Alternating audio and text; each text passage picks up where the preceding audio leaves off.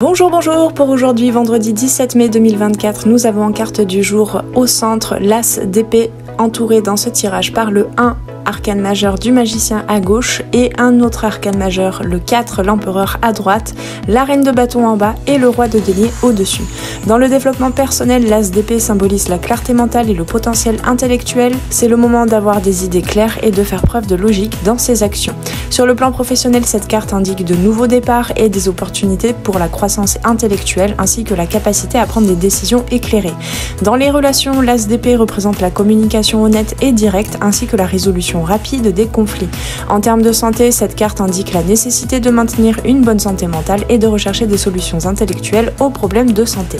Sur le plan financier, l'As d'épée encourage à prendre des décisions financières éclairées et à rechercher des opportunités d'investissement. Cette carte favorise une approche analytique et inventive dans les projets créatifs, mettant l'accent sur la communication claire et concise. L'As d'épée, c'est vraiment les nouvelles idées qui arrivent, les nouveaux potentiels. Spirituellement, l'As d'épée invite à rechercher la vérité intérieure et à se connecter avec son intellect et son mental supérieur pour trouver des réponses aux questions spirituelles. Dans la prise de décision, cette carte suggère de faire preuve de clarté mentale et de confiance en son intellect pour prendre des décisions éclairées.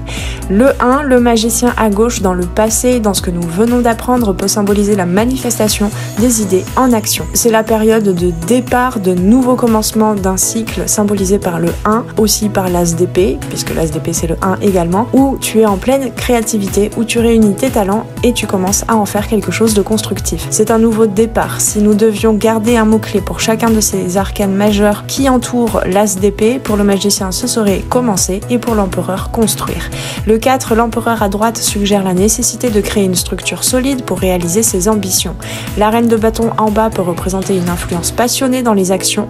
Encartement 6, si la reine de bâton est placée en position de blocage comme ici ou en énergie à bien conscientiser pour ne pas bloquer les potentiels des autres cartes environnantes, elle est souvent vue par certains et certaines de mes consoeurs et confrères comme ce qu'on appelle parfois une énergie tierce. Elle pourrait donc représenter une personne de ton entourage ou plutôt une partie de ton être et de tes comportements.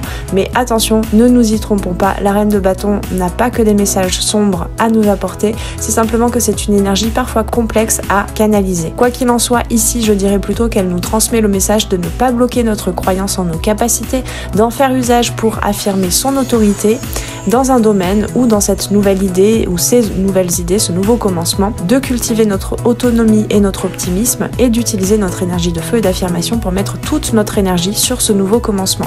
Le roi de denier vient confirmer ceci au-dessus et peut symboliser la nécessité de garder les pieds sur terre et de rester pragmatique dans la réalisation des objectifs malgré ce feu de la reine de bâton, ce feu passionné et passionnant de notre énergie vitale et de créativité.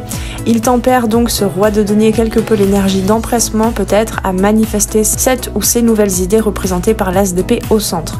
L'as d'épée est associé à l'élément de l'air, soulignant son aspect intellectuel et analytique. L'ASDP est lié au degré 1, comme je le disais tout à l'heure, symbolisant le potentiel et les nouveaux départs. Dans la série d'arcanes mineurs, le 1 est associé à la créativité et à la manifestation des idées, des nouveaux potentiels. Dans les arcanes majeurs, il est associé au 1, le battleur, ou communément appelé le magicien, symbolisant le commencement et le potentiel.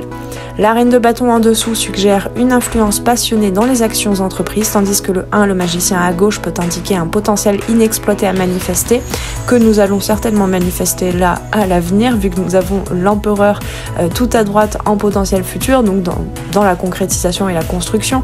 Le roi de denier, de plus, qui peut être un peu comme un empereur, mais dans les arcanes mineurs, au-dessus, offre un message de pragmatisme et de stabilité dans la réalisation des objectifs, encourageant à rester ancré dans la réalité tout en poursuivant ses ambitions. Ce tirage met en lumière la nécessité de faire preuve de clarté mentale et de confiance en son potentiel pour réaliser ses objectifs, de suivre ce qui nous passionne profondément dans ce nouveau départ tout en restant pragmatique et ancré dans la réalité.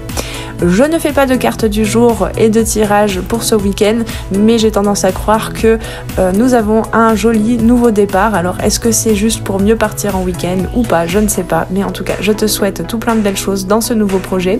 Et puis on se retrouve dimanche pour la guidance Sunday avec extension pour aller farfouiller un petit peu dans une partie de ton histoire, poser les bonnes questions et trouver les bonnes réponses avec les cartes. Et puis on se retrouve sinon lundi pour de nouvelles guidances et une nouvelle semaine. À très très bientôt sur les arborescences de Pan. Ciao ciao